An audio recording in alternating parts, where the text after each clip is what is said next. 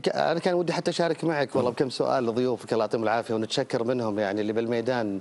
آه ال- ضيوفي طريقه خالد. الاحياء يعني وش الطريقة الحين الحين يروحون يعني الله يعطيهم العافية أبطال الصحة لأحياء معينة. ثم بعد ذلك يعني آه، آه، يجون ال- ال- اللي في الحي ويفحصونهم ولا وش الطريقة؟ وثاني شيء إيش هي الأحياء اللي يختارونها بناء على توقعهم لعدد الحالات والإصابات ولا إيش؟ ممتاز.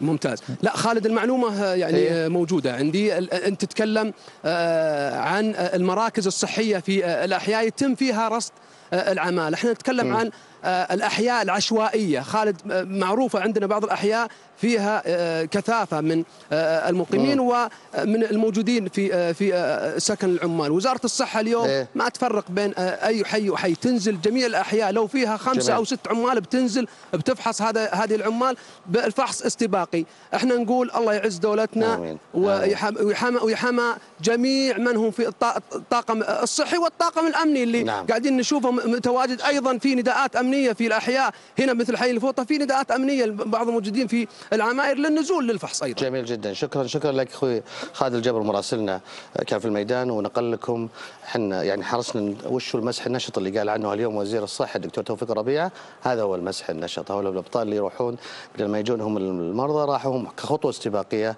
وهذه يمكن يعني نقلة حتى إن شاء الله في المواجهة. الله ينصرنا إن شاء الله في هالمعركة وحننتصر بحول الله.